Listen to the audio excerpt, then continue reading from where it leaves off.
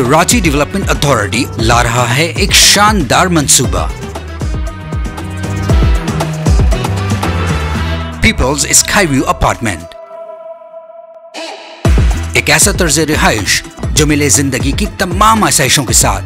अब 45 percent H loan facility के साथ।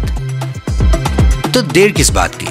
अभी रहा करें सिटी प्रॉपर्टी तामीर से तकमील तक।